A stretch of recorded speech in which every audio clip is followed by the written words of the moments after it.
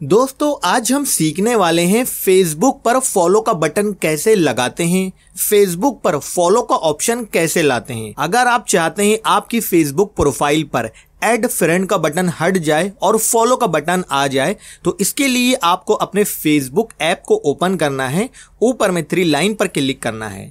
इसके बाद नीचे में आपको यहाँ पर सेटिंग्स एंड प्राइवेसी पर क्लिक करना है। इसके बाद यहाँ पर आपको सेटिंग्स पर क्लिक करना है। सेटिंग्स पर क्लिक करने के बाद आपके सामने फेसबुक की सेटिंग्स आ जाएगी। यहाँ पर आपको थोड़ा सा नीचे आना है। यहाँ पर आपको एक सेटिंग मिलेगी। How people find and contact you आपको इस सेटिंग को ओपन करना है।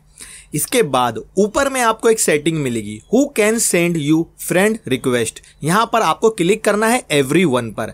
अब यहाँ पर दोस्तों आप देखेंगे, ये एवरी वन पर सेट है। तो आपको इसे यहाँ से हटाकर फ्रेंड्स ऑफ़ फ्रेंड्स पर सेट कर देना है।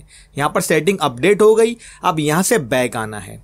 इसके बाद यहाँ पर आपको नीचे आना है। यहाँ आपको एक सेटिंग मिलेगी फॉलोअर्स एंड पब्लिक कंटेंट आपको इस सेटिंग को ओपन कर लेना है। इसके बाद दोस्तों, यहाँ पर आप देखेंगे, ये सेटिंग फ्रेंड पर सेट है तो आपको इसे पब्लिक पर सेट कर देना है। अगर आपके फेसबुक में पब्लिक का बटन काम नहीं कर रहा है तो आपको क्या करना है, अपनी फेसबुक प्रोफ़ाइल से लॉक हटा देना है।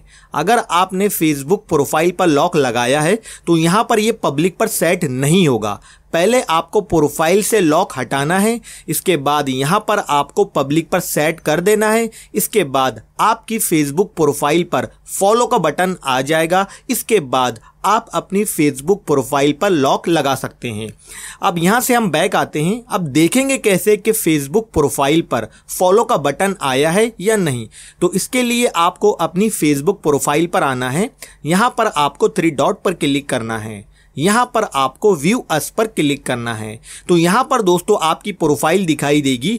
आपकी प्रोफ़ाइल दूसरों के फेसबुक में किस तरह से दिखाई देती है, वो आपको यहाँ पर दिखाई देगा। तो आप देखेंगे यहाँ पर फॉलो बटन आ गया है। इस तरह से दोस्तों आप फेसबुक पर फॉलो बटन लगा सकते हैं।